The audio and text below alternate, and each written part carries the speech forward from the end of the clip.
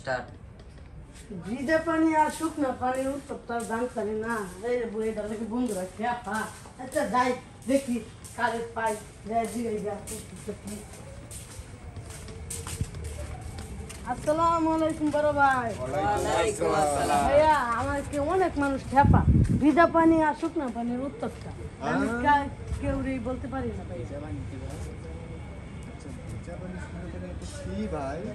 সবাই আমাকে বলে ভিজা পানি আর শুকনো পানি এই প্রশ্নটা তুই পাইলি কই এ। আমার বন্ধুরা খেপা এটা নিয়ে। ভিজা পানি আর শুকনো পানি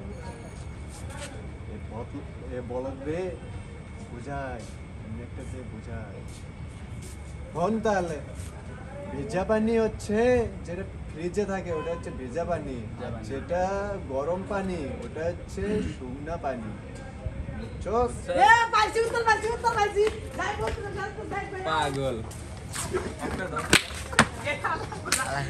তো